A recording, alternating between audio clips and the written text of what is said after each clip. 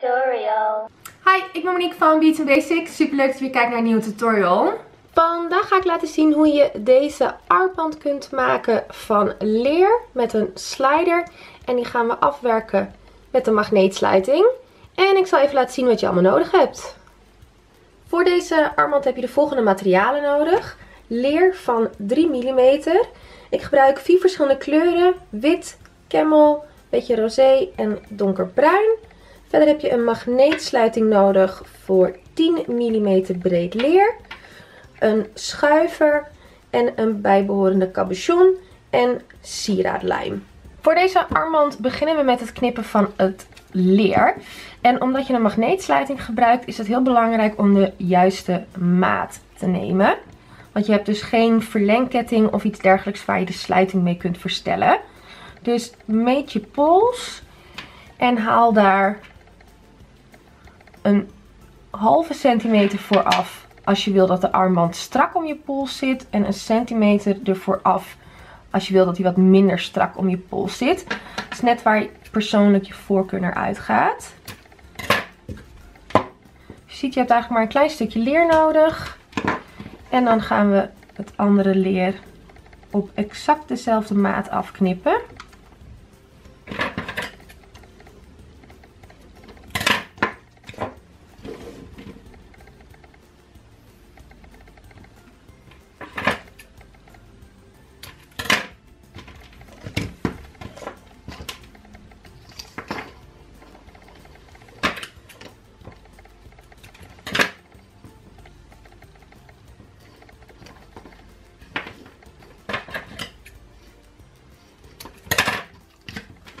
Dat zijn je vier stukjes leer.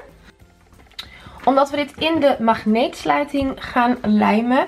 En het, is, het past net met de 3 mm leer, maar het is best wel krap. Dus even een trucje is om het uiteinde een beetje in een puntje te knippen. Dus gewoon zo schuin afknippen. En dan kun je het makkelijker in de magneetsluiting schuiven. Maar blijft het wel gewoon nog goed zitten.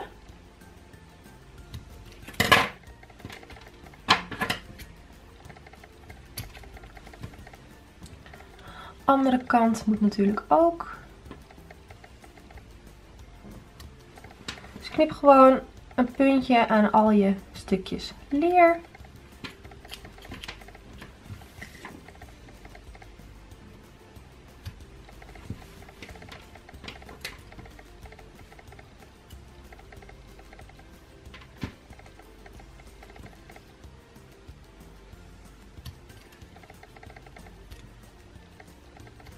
En dan gaan we nu het leer in de sluiting lijmen.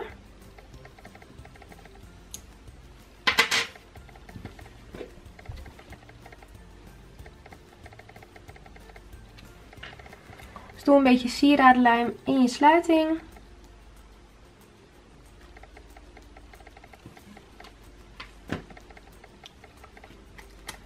En dan gaan we het leer bevestigen en ik ga werken van licht naar donker. Dus ik gebruik nu vier verschillende kleuren leer. Maar je kunt ook natuurlijk allemaal dezelfde kleuren gebruiken. Of twee verschillende. Het is maar net wat je zelf leuk vindt. Dus je plaatst het leer. Je begint ook echt onderaan. Zodat je alles mooi naast elkaar in de sluiting lijmt. En dan de eerste drie, die gaan natuurlijk heel makkelijk.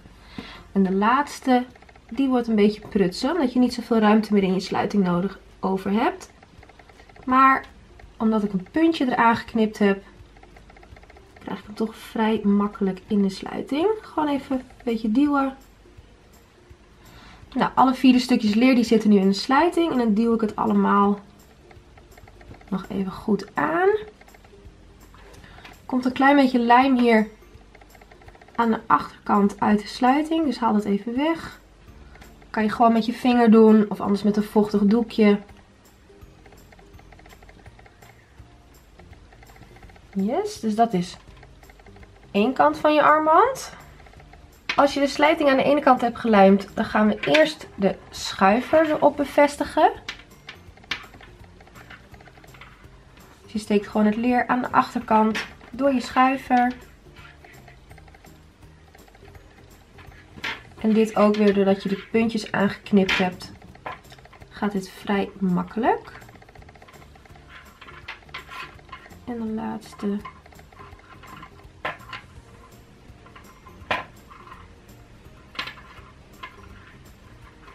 Nou, dan schuif je het gewoon een stukje door, dat de schuif wat meer in het midden zit. En dan is het belangrijk dat de uiteindes allemaal op dezelfde lengte zijn. Dus trek het gewoon even aan op zo'n manier dat al het leer weer netjes naast elkaar zit.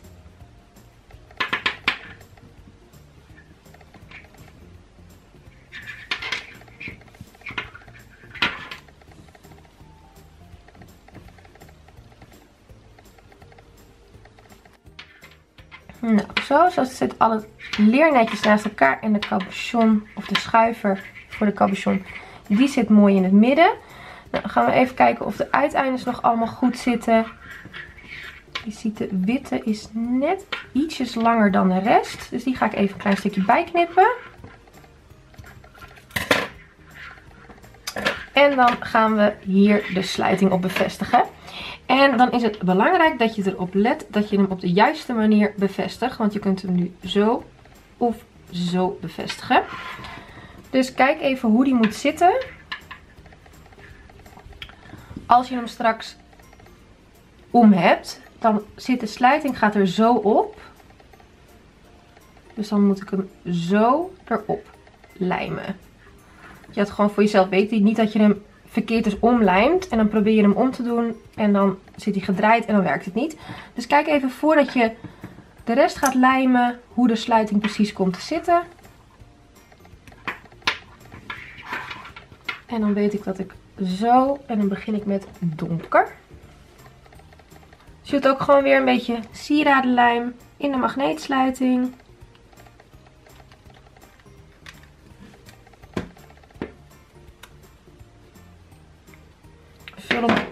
Tot de helft. En dan gaan we aan deze kant het leer erin vestigen. Dus we beginnen met het donkerste. Lichter. Dus pak gewoon weer dezelfde volgorde als aan de andere kant.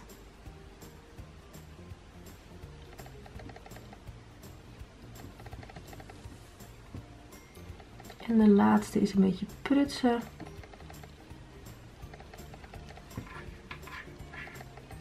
Nou, die zitten ook goed in. En dan gaan we het even nog een beetje aanduwen. Nou, dan zie je hier dat er wat lijm uit de sluiting komt. Dus pak gewoon even een vochtig doekje. En dan kun je dat netjes wegvegen. Doe dit gewoon meteen, dan krijg je ook geen lijmvlekken op je sluiting.